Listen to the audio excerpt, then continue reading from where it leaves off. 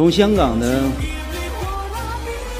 安全相比，我们同其他国家的关系哪一个更重要？一目了然。一目了然。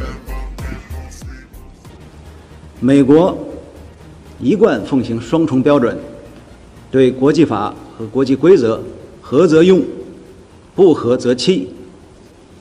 建国后近二百五十年间，仅有十六年没打过仗，在全球拥有数百个军事基地。谁是世界和平与安全的最大威胁？国际社会自有公论。美国回归根本不是什么王者归来，而是跳课学生返校。日方强调排放的是经处理的净化水，又何必建造储存罐、严密封装？日方称排放参照国际惯例和国际标准。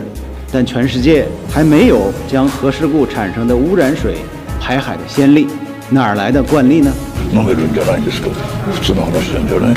都无法叫醒一个装睡的人。你这是一个充满恶意的问题吧？澳大利亚外长为何对此视而不见呢？从哪里来的底气和勇气对中国指手画脚？你最好去问问加拿大政府，什么是人质外交？